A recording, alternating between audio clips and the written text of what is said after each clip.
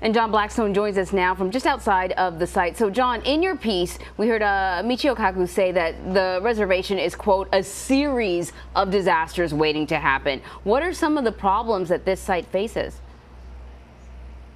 Well, for years, this site produced most of the plutonium for America's nuclear weapons, and it's left it littered with hazardous nuclear waste. And much of that waste is stored in, in what were meant to be temporary containers. Now, there's some 53 million gallons of waste stored in single and double walled containers here that uh, those containers have been found to be leaking over the years.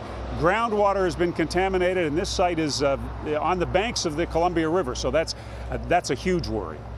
John, have you learned anything specific about how crews will work to fix this damaged tunnel? Their hope is to find a way to seal seal off the tunnel, to seal it so that uh, nothing can can contaminate, to make a barrier between basically the contaminated material and the air. Uh, and at this time, to keep people safe for now, um, uh, workers are being kept away from this site the big concern is that this hole doesn't get any larger. So they're trying to do this work without making the hole any larger. It looks like it's sort of in a remote area, but it's kind of hard for us to tell based on the handful of pictures that we see. But what about people in the area? How are they being protected?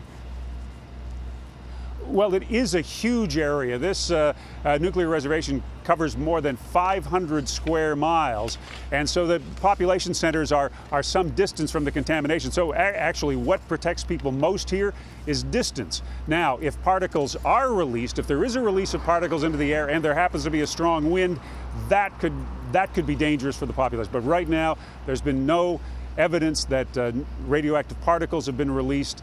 Uh, the Department of Energy says uh, there's no immediate danger.